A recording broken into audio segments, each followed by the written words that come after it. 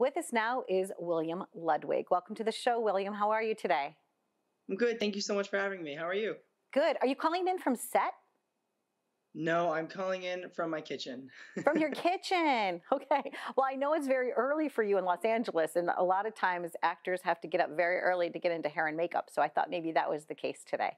No, I actually I, I do have to go to set right after this. I am I'm filming a Nickelodeon show this morning. oh my gosh! Did you grow up loving Nickelodeon? Um, I grew up as a Disney Channel kid. I'll be honest, uh, but I do like Nickelodeon. That you know, I remember when that channel launched, um, and I have older kids. They're like 30 and 27 and 16. Um, but Nick was always so fantastic, and they're still such a great network. What are you? What project are you working on for them? I'm I'm working on a show called Side Hustle, um, and I and I did an episode of it in back in March, uh, and they're calling me back, which is awesome. That's awesome.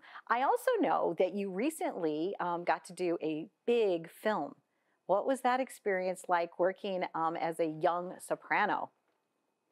Well, honestly, it was awesome. It was a little bit scary at first because it's these huge shoes to fill. But uh, once I started meeting uh, everybody working on it, like the director Alan Taylor and Michael Gandolfini, who plays teenage Tony Soprano, and working with people like Alessandro Nivola, who plays Dickie Moltisanti, who's the lead of the film, they all just made me feel really comfortable in this environment, and they helped me learn who Tony Soprano really is as a character and what he means to so many people. I thought it was so touching too that his son uh, portrayed him as a young man, and then you played even the younger Tony. Um, what did you, I guess, what did you think about that that uh, choice, and and how interesting was that to actually have his own son being uh, playing him?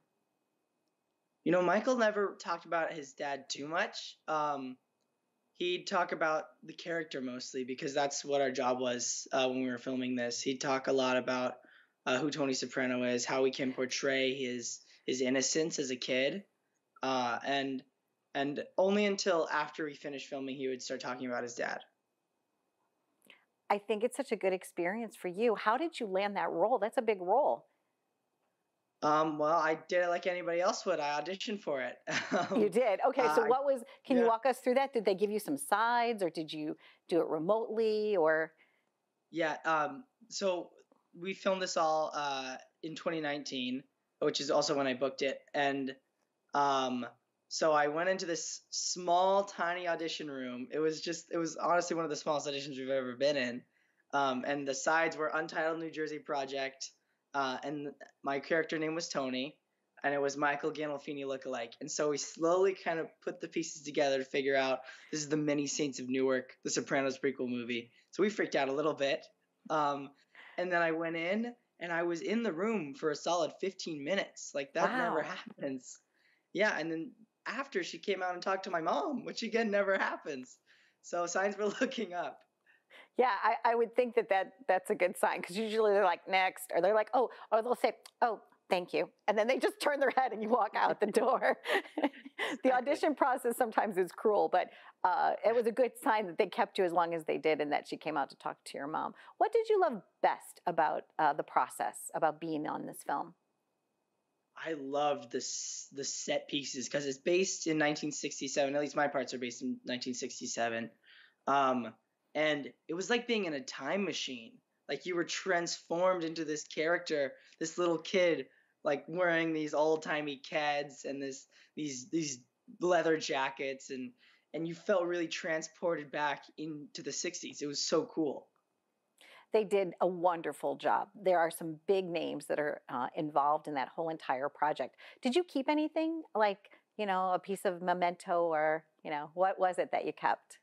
I did. I kept I kept the old Keds. They're like these super cool white Keds and I wore them in almost every scene that wasn't a funeral.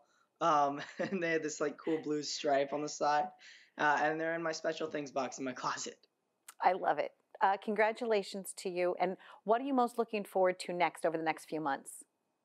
Um, I'm looking forward to seeing everybody's reaction to this. I know we've gotten a lot of feedback, and uh, and a lot of my friends have seen it now, and I'm really excited and and fortunate to be able to have this experience. Uh, and uh, I'm I'm really excited, honestly, all around.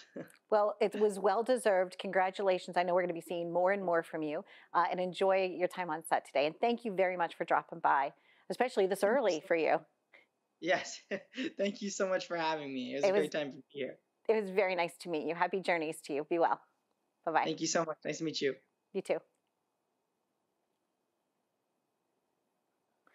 William, thank you so much. Thank you so I wanna, much. I want to tell you a funny little story. So I helped discover a young man um, named Robert. He now goes by Rob uh, Montaro, and he's a pianist. And he got to play Archie.